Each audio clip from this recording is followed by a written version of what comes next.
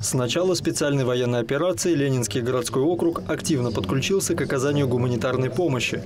За два года она исчисляется тоннами грузов и огромным количеством добрых дел. Сегодняшние участники волонтерского круглого стола с главой муниципалитета Станиславом Катаровым и большой бизнес, и различные сообщества, и просто неравнодушные люди. У нас есть огромное количество волонтеров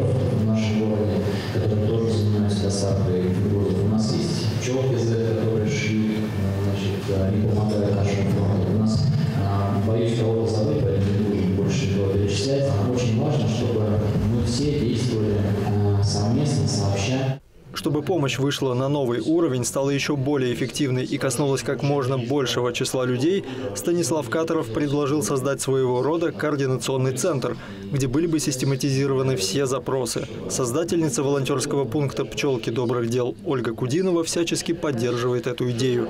Она начинала помогать вместе с 15 единомышленниками, сегодня их уже больше 250 человек.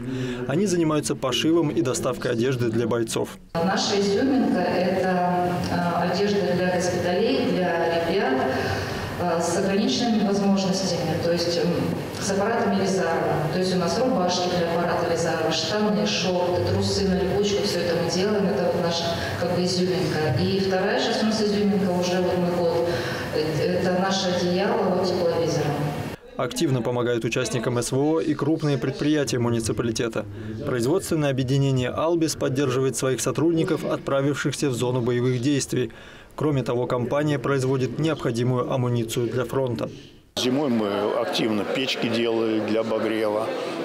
Я уже говорил, специальные крабы такие, которые можно на веревке бросать, скидывать мины э, с точки, чтобы смотреть, чтобы там нет двойных. Вот сейчас нам попросили сделать охлаждающее устройство. Ну, то есть мы постоянно этим занимаемся. Торгово-промышленной палате Ленинского округа более 70 компаний и за два года к оказанию гуманитарной помощи подключилась каждая из них. Накоплен большой опыт, есть идеи, как привлечь еще большее число бизнесменов. На сегодняшний момент э, многие покупки приобретаются за наличный расчет. Да? Для этого необходимо распределить дивиденды, это 13%, и, соответственно, нагрузка финансовая возрастает. Поэтому если бы на уровне Московской области или на уровне нашего Ленинского городского округа появилась какая-то инициатива э, с тем, чтобы поменять э, налогообложение для тех предпринимателей, которые готовы помогать участникам СВО, было бы замечательно. Встреча продолжалась более полутора часов. Волонтеры обменивались опытом и наметили немало совместных вариантов помощи. Дмитрий Книга, Екатерина Коваленко, Сергей Ларин, Ольга Садовская. Видное ТВ.